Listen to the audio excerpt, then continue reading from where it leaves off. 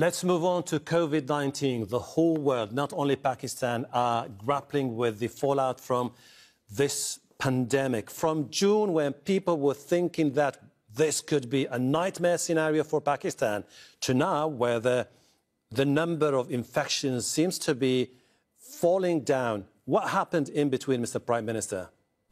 In Pakistan, we made a, a probably the best decision, very difficult decision we decided not to have the sort of lockdown that was in Europe or that was in, uh, in Wuhan in China. We decided to go for a smart lockdown. In other words, uh, you know, concentrate on hot, hot spots and lock them down rather than a blanket lockdown.